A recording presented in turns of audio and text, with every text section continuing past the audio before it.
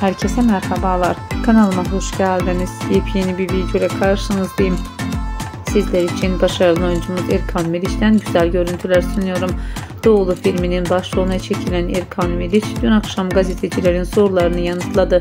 Yakında yeni bir filmde ekranlarda olacak Erkan Meriç'ten yepyeni fotoğrafları sizler için paylaşıyorum. Umarım beğenirsiniz. Şimdilik benden bu kadar. Sağlıcakla kalın arkadaşlar.